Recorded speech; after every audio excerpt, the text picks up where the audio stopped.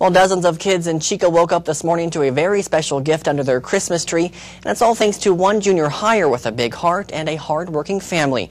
Reporter Rick Carhart has a story in tonight's Kids in Action. Merry Christmas! The Christmas season is also the season of giving.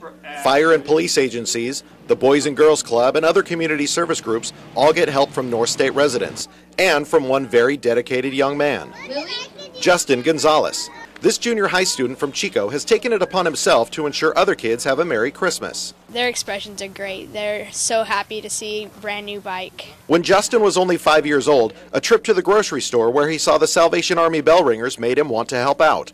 His dad was skeptical at first. I thought, you know, five year old doesn't really understand the value of the dollar and how expensive things are, but that first year he came through and uh, the neighborhood came through, Amber Grove, as they always have, and he raised enough funds to purchase 10 bicycles that year, and it's just it's, it's grown every year. From just a few bikes in the beginning to 50 this year. I did not think it'd become this big. I mean, this is great.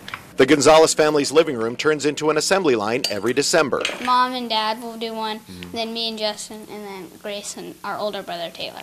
Everyone pitches in, even friends who come over to visit. The whole family thinks it's cool that he, that he steps in there and uh, he wants to give back to the community. We appreciate that.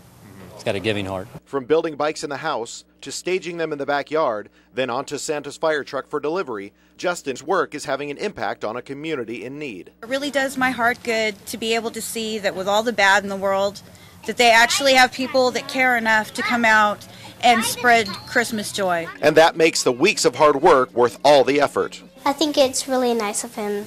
That's a good thing. It's very rewarding. We look forward to it every year. And you can be sure that next year and the year after, the Gonzalez family will continue to spread Christmas cheer. In Chico, I'm Rick Carhart for Action News. If you know of a young person who should be featured on our Kids in Action on Sunday, you'll find the nomination form on our websites.